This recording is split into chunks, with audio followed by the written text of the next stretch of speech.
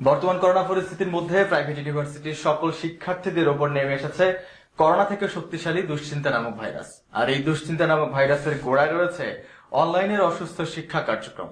এ নিয়ে east West ইউনিভার্সিটির এক শিক্ষার্থী জানাচ্ছিলেন তার প্রতিক্রিয়া। বর্তমান সময়ে আপনারা জানেন যে করোনা ভাইরাসের জন্য বাংলাদেশের প্রতিটা মানুষ খুব খারাপ অবস্থায় বিরাজমান আছে। এর মাঝে সব আমাদের ভিতরে এসে পড়েছে আরেকটি বড় সমস্যা, সেটি হচ্ছে আমাদের অনলাইন এক্সাম অনলাইন ক্লাস আমাদের প্রাইভেট ভার্সিটিগুলো এই যে অনলাইন ক্লাস অনলাইন এক্সাম আমাদের উপর চাপিয়ে দিয়েছে, এই অনলাইন ক্লাস অনলাইন এক্সাম সম্পর্কে এখনও সবাই অবগত নয়। কেউ এখনও ঠিকমতো বুঝেই না যে কীভাবে কি করতে হবে। আমাদের বিভিন্ন ল্যাব এক্সাম করানো হইতেছে, যেগুলো আমরা সামনাসামনি, এমন অনেক স্টুডেন্ট আছে যারা নিজেরা ক্লাসে বসেই অনেক কিছু বুঝতে পারে না। তারা কীভাবে অনলাইনে সবকিছু বুঝতে পারবে? তার উপরে প্রাইভেট বিশ্ববিদ্যালয় বিশ্ববিদ্যালয়গুলো এখন বর্তমানে আপনারা জানেন যে মধ্যবিত্ত পরিবার এবং মানুষ সবাই কারও কাছেই ঠিকমতো ভালো অর্থ নেই।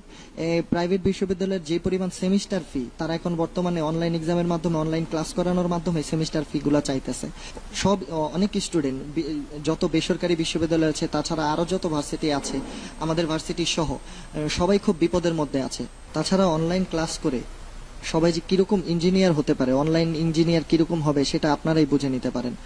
আর বর্তমান সময়ে আমি এইটা বলতে চাই যে, যেহেতু ভার্সিটিগুলো বলতেছে যে, এখন সেমিস্টার ফি চালু করে সবাইকে ক্লাস করার জন্য, আমি এই এই বিরুদ্ধে এই কথাই বলতে চাই যে, এটা করাটা মোটেই ঠিক হবে না। কারণ সবারই এখন ফ্যামিলির অবস্থা, পরিবারের অবস্থা প্রচণ্ড খারাপ। ঠিকমতো বাসায় অন্যেরই ব্যবস্থা নেই, খাদ্যের যোগানই নেই। সেখানে তারা কীভাবে এইরকম সেমিস্টার ফি দিয়ে তারা ক্লাস করবে। তাদের মনোবলই তো হারিয়ে গেছে।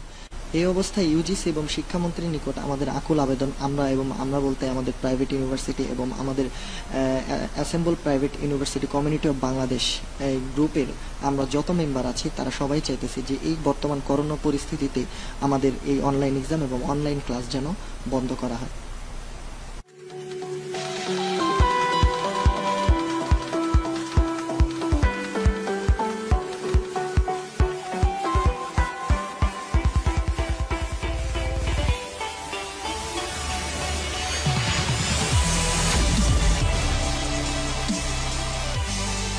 আপনারা দেখছেন রূপান্তর টেলিভিশন।